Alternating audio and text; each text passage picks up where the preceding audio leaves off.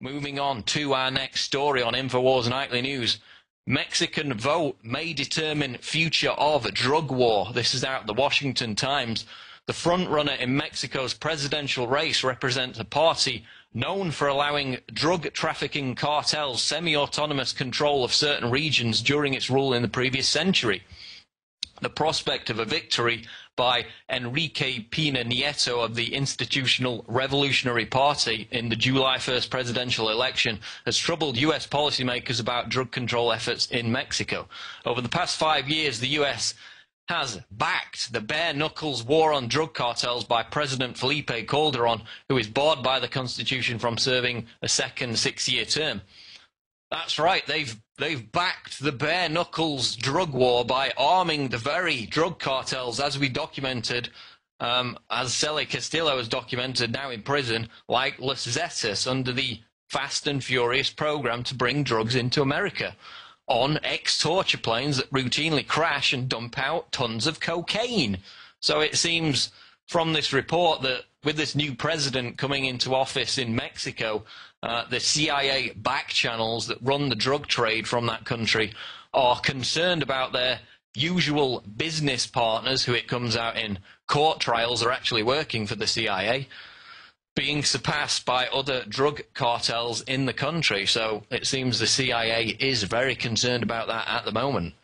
Moving on to our next story, Kurt Nimmo writes on Infowars.com Ron Paul warns of Federal Reserve power grab not only was Obama's appointment of Richard Cordray to the misnamed Consumer Financial Protection Bureau unconstitutional, but the newly minted federal Leviathan itself is in direct violation of the Constitution, specifically the 10th Amendment. In January, Obama thumbed his nose at Article 2, Section 2 of the Constitution. It states the President, quote, shall nominate and by and with the advice and consent of the Senate shall appoint officers to the government.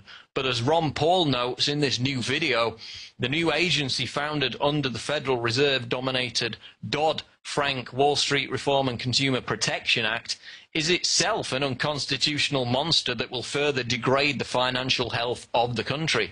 Cordray will act as a czar, answerable not to the American people, but his masters at the Federal Reserve, like EU or Soviet-era committee, the CFPB will be run by unelected commissars who will exercise extraordinary power. The agency is part of the Federal Reserve and its budget is not subject to congressional control or oversight. So here's that clip from Ron Paul talking about the latest advance in executive tyranny. Current law already allows only the richest Americans to invest in potentially lucrative ventures such as hedge funds because such investments are deemed to be too risky for the average American to invest in. The government, in its paternalistic wisdom, treats American investors as too stupid to know what to do with their money and protects them, supposedly, by keeping them poorer than they otherwise would be.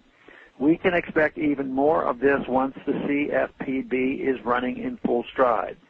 Now, that was just a segment of Ron Paul's latest speech on that new Federal Reserve controversy. We'll play the rest of that clip during the break.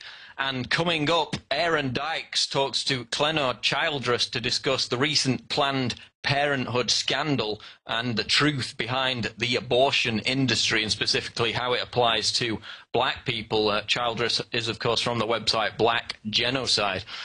Now, we urge all our subscribers, our w- watchers on YouTube, because most people watch this on YouTube, um, to subscribe to prisonplanet.tv because that's what funds the production of this program. We've currently got one year gift subscriptions available at a 37% discount for just $44.95. We've got the free trial still running, so you can try prisonplanet.tv for 15 days completely free. Um, and then if you don't want it, then you just don't renew. And if you leave it, then it does renew, and you get access to all the content. Alex Jones Show, video, audio files, InfoWars Nightly News, speeches, special interviews. Literally seven years of content, a massive back catalogue library of information war material. So we encourage all our subscribers to sign up at prisonplanet.tv. Hello, this is Ron Paul with your weekly update for February 6th. Well, much has been made recently of the President's unconstitutional appointment of Richard Cordray to be Director of the Consumer Financial Protection Bureau, CFPB. Lost in the hubbub has been any discussion of the unconstitutionality of or the need for the CFPB itself. Proponents of the CFPB claim that this new bureaucracy will help consumers by protecting them from fraudulent activity. In reality, it will only expose consumers to more financial harm.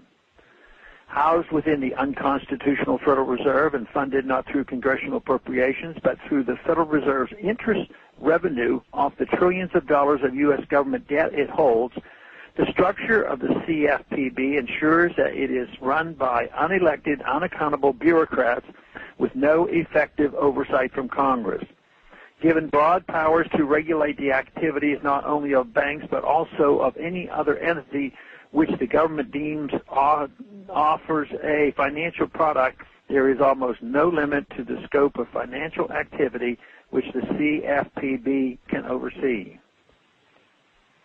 Giving impetus to the CFPB's creation was the poor reputation of Wall Street banks and financial firms that developed as a result of the financial crisis. Banks which received trillions of dollars of taxpayers funded bailouts turned around and shafted their customers by foreclosing on homes, raising credit card interest rates, and introducing numerous new fees. But rather than keeping Wall Street in check, as its, its proponents allege, the CFPB will end up placing further restrictions on the ability of Main Street Americans to engage in productive financial endeavors. Current law already allows only the richest Americans to invest in potentially lucrative ventures such as hedge funds because such investments are deemed to be too risky for the average American to invest in. The government, in its paternalistic wisdom, treats American investors as too stupid to know what to do with their money and protects them, supposedly, by keeping them poorer than they otherwise would be. We can expect even more of this once the CFPB is running in full stride. The CFPB will further harm consumers by encouraging them to use only financial products which have received the Bureau's approval. Many consumers will assume that these products are safe and will fail to engage in their own due diligence with predictably unfortunate results. We have seen this with the stock markets in the cases of Bernie Madoff and Allen Stanford where investors trusted the SEC to prevent fraud ended up suffering huge losses. Social Security is a similar case in which millions of people place their trust in the government to take care of them in their old age. The inability of Social Security to pay its future obligations is well understood but ignored, and millions of Americans will likely once again learn the hard way that the government cannot be taken at its word. Thanks for calling this update. A new update is placed on this number, 888-322-1414 every Monday. The written text can be found on my website, www.house.gov slash Paul, under the heading Texas Straight Talk. Thanks for calling. Yeah, I'm signing these evil 1776 flags. Doesn't get any more out of control than that, ladies and gentlemen. It's pretty un-American what we're doing here at Infowars.com. I mean, not only are we promoting liberty, but we're selling 1776 flags. That is Al Qaeda.